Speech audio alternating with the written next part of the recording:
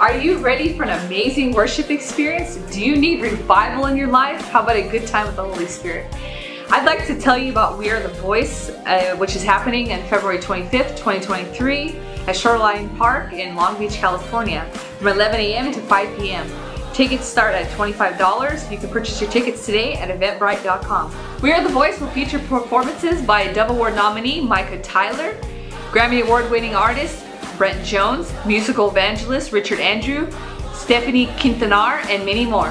For more information, go to www.hosannabroadcasting.com. We Are the Voice is a time of celebration, unity, and coming together to praise and worship our God, honoring the life and contribution of William Joseph Seymour. There will be arts and crafts, food, and fun for the entire family.